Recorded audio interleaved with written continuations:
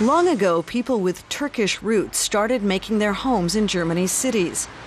Many first came here as guest workers, then put down roots, and have lived here for decades. But do they feel at home in Germany? Everyone needs to understand that this is our country, that we all need to live here together. Immigrants need to say, This is my country, and Germans need to say, These are our immigrants. They belong here too. I've lived here for 40 years. So far, I've never had a problem. It's fine. I feel completely at home. We study here and we're politically active here.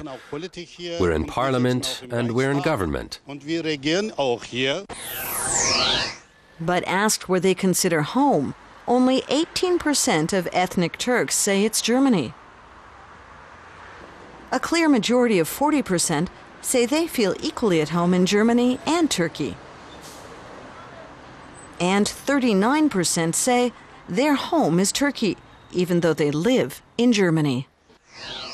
So, even five decades after the first Turkish guest workers arrived, integration is still a work in progress.